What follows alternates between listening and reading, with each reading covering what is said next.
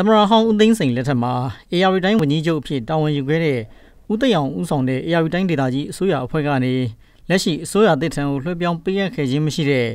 တိုင်းဒေသကြီးဖွံ့ဖြိုးရေးရန်ပုံငွေတွေကိုလက်ခံရယူထားတဲ့ဖောင်ဒေးရှင်းအဖွဲ့အစည်းကနေပြန်လည်ပေးသွင်းသွားမှာဖြစ်တယ်လို့သိရပါတယ်။ဩဂုတ်လ9ရက်နေ့က AR တိုင်းဒေသကြီးအစိုးရအဖွဲ့ရုံးစီဝေးခန်းမှာတက်မှာကျင်းပပြုလုပ်တဲ့ AR တိုင်းဒေသကြီးအစိုးရအဖွဲ့ရဲ့ဒုတိယတနှစ်တာကာလအတွင်းဆောင်ရွက်ခဲ့တဲ့တိုးတက်ပြုပြင်ပြောင်းလဲမှုတွေနဲ့ပတ်သက်ပြီးသတင်းစာရှင်းလင်းပွဲပြုလုပ်ရမှာပျောက်ဆုံးနေတဲ့ဒေသဖွံ့ဖြိုးရေးရန်ပုံငွေတွေနဲ့ပတ်သက်ပြီး11 Media Group ကမေးမြန်းရမှာအစိုးရအဖွဲ့ကိုစားစီမံကိန်းနဲ့ဗန္ဒာရေးဝန်ကြီးဦးထေးဝင်းကအခုလိုပြန်လည်ဖြေကြားခဲ့ပါတယ်။ဒီကောင်စုစီးစစ်ချုပ်ရဲ့စစ်စစ်ပစ္စည်းတွေပြောရလို့ရှိရင်တော့ဒီဘန်းဝင်မှာကျွန်တော်ကတာမန်3800ရေးရဆိုတော့ဓမ္မ သုံးလေးကိုပေါ့လေရှိပါတယ်။နောက်တစ်ခါကကျွန်တော်တို့ဒီကိုရွေးလုပ်ငန်း28ခုမှာခိတ္တပြင်ထားတဲ့နေရာဆိုတာမန်ကိုကကိုယ်ဆိုတော့မှအားလေးဆိုတာရှိပါတယ်။နောက်ကုမ္ပဏီသုံးခုမှာလည်းအကျိုးပြုလုပ်တဲ့ဟိုပါပေါ့လေ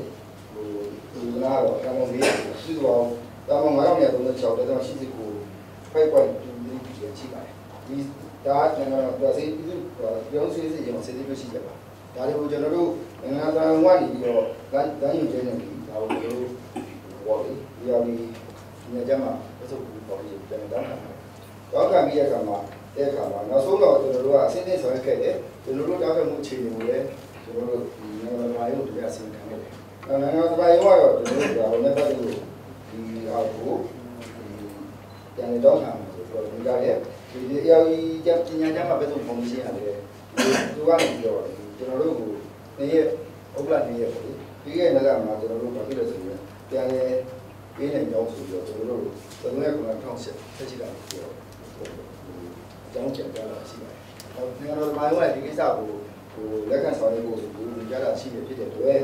ဒီလိုဒီရိုက်ကိုင်အစိုးရအဖွဲ့တွေကတို့ဒီ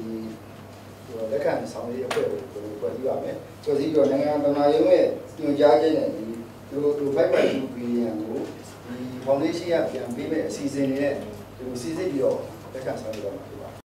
။ရန်ပုံငွေတွေပြန်လည်လွှဲပြောင်းပေးရေးအတွက်နောက်ဆုံးထားဆောင်ရွက်ရမယ့်ကာလစီမင်းသတ်မှတ်ချက်ကိုတော့ဝန်ကြီးကထည့်သွင်းပြောကြားခဲ့တာမရှိပါဘူး။အဆိုပါငွေတွေကိုအစိုးရဖွဲ့ဝင်ဟောင်းတွေပါဝင်တဲ့ဖောင်ဒေးရှင်းတစ်ခုကနေလွှဲပြောင်းရယူထားတာဖြစ်ပြီးပြည်ထောင်စုစည်းရင်းစစ်ချုပ်ရဲ့စစ်ဆေးတွေ့ရှိချက်တွေအရအစိုးရတပ်ကနေပြန်လည်တောင်းခံခဲ့မှုပေါ်အခုလိုပြန်လည်ပေးအပ်ရတာဖြစ်ပါတယ်။ အဆိုပါငွေတွေကိုလက်ရှိအစိုးရအဖွဲ့အနေနဲ့ပြန်လည်လွှဲပြောင်းလက်ခံရေးအဖွဲ့ကိုဖွဲ့စည်းဟာလက်ခံဆောင်ရွက်တော့မှာဖြစ်တယ်လို့ဆိုပါတယ်။